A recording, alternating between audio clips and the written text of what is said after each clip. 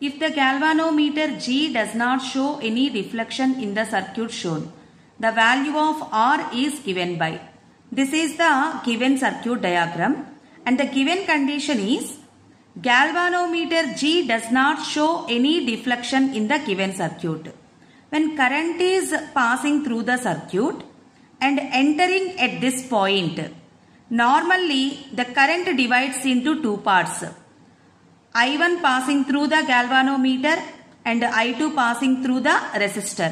But galvanometer does not show any deflection means there is no current along this path. The total current entering into the junction point passing through the resistor. How much current is passing through the resistor? Same current is entering through the resistor R. So these two resistors are connected in series. Why these two resistors are connected in series?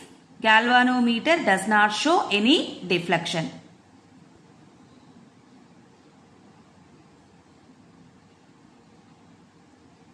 And next, this 2 volt battery is connected in parallel to the resistor. We know in parallel combination, potential difference is constant. Here potential is 2 volt. So the potential difference across this resistor is 2 volt. Observe this part of the circuit. 10 volt battery, 4 ohm resistor and this resistor R. All these are in series connection. We know V equals to IR. In place of R, take R equivalent. Potential difference here 10 volt. And we don't know the current. Total resistance in the circuit is 400 plus R. Take this is equation 1. And at this resistor, we know potential difference is 2 volt.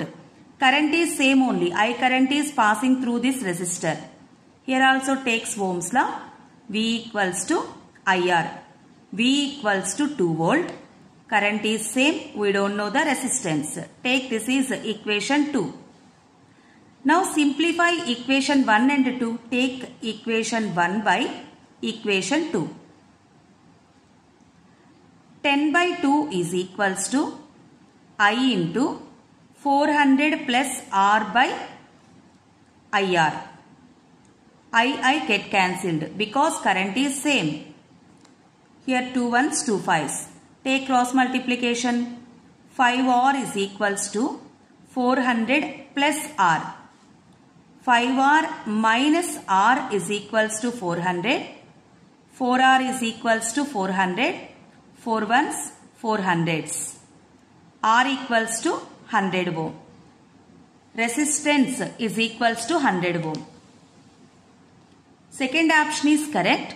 Here the main point in this circuit is galvanometer does not show any deflection. So these two resistors in series and 2 volt battery connected uh, parallel to this resistor. So potential difference across these two terminal points is equals to 2 volt. By using this we get two equations and when we simplify these two equations resistance is equals to 100 ohm.